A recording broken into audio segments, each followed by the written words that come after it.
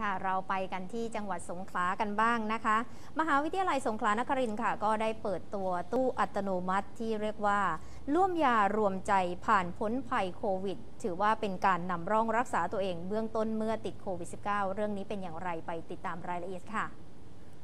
กระทรวงสาธารณสุขได้ปรับแนวทางการบริหารจัดการโรคโควิด -19 เป็นโรคประจำถิ่น แล้วก็ปรับแนวทางการรักษาดูแลผู้ป่วย โดยการเพิ่มระบบดูแลแบบผู้ป่วยนอก แล้วก็แยกกักตัว OPSI หรือเจอแจกจบ เป็นอีกทางเลือกค่ะในการเข้าสู่ระบบการรักษาสำหรับผู้ติดเชื้อที่ไม่แสดงอาการ หรือมีอาการเล็กน้อย ซึ่งเริ่มดำเนินการไปแล้วเมื่อ 1 มีนาคมที่ผ่านมานั้น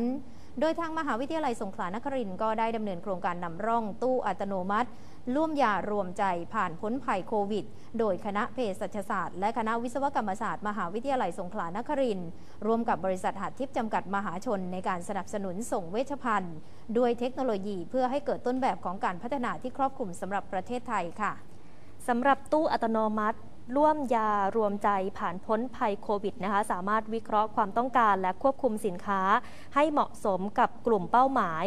มีระบบควบคุมอุณหภูมิ ให้เหมาะกับการเก็บรักษายาและเวชภัณฑ์ มีจอแสดงภาพ LCD แบบสัมผัสหน้าจอ ให้ความรู้ข่าวสารเกี่ยวกับโรค และสามารถชำระค่าบริการค่าสินค้าได้ทั้งระบบเหรียญธนบัตรและ e-banking ค่ะ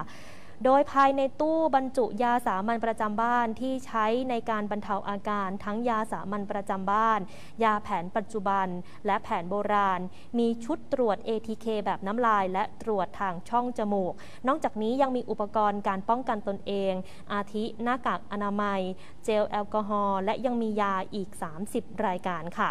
สำหรับตู้อัตโนมัติ ร่วมยารวมใจผ่านพ้นภัยวิก ขออภัยค่ะ ผ่านพ้นภัยโควิดนะคะ จัดตั้งไว้ที่หน้าร้านยาเภสัชศาสตร์ โอสถสีตรังประตู 109 นะคะ แล้วก็จะให้บริการตลอด 24 ชั่วโมงค่ะ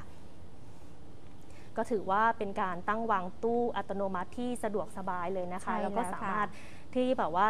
ช็อปได้เลยอืมชื่อก็น่ารักมากเลยนะคะ